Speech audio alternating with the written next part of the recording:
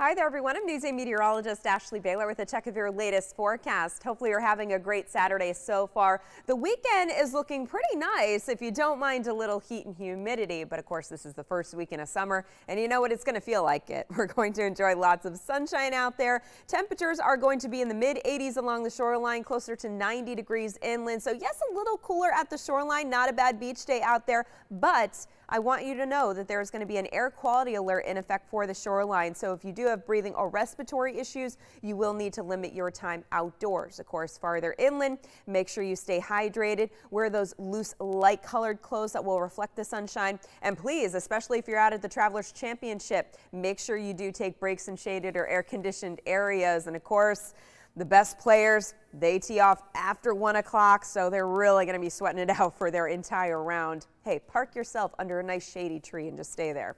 Here's a look at our hour by hour forecast where you can see we will have plenty of sunshine as we head through the afternoon.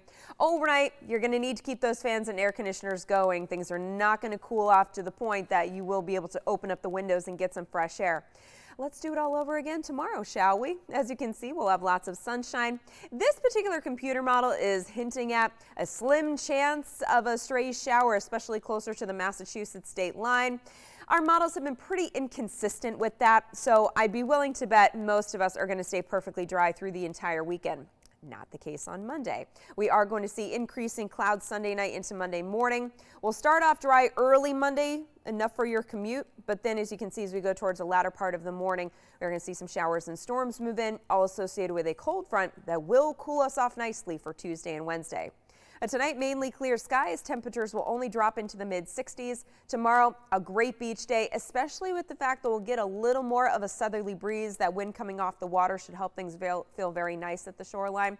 So we'll still have that moderate humidity. Dew points will be in the low to mid 60s, so you're going to feel the humidity, but it should not feel tropical or oppressive. So here's a look at your eight day shoreline forecast where we get that cold front on Monday with those showers and storms. By Tuesday and Wednesday, we'll go back into the sunshine. Temperatures will be cooler in the 70s. The humidity is going to come down, but then of course the numbers start to creep back up Thursday and Friday. In fact, by Friday, it's not only going to be warming up, the humidity will return once again.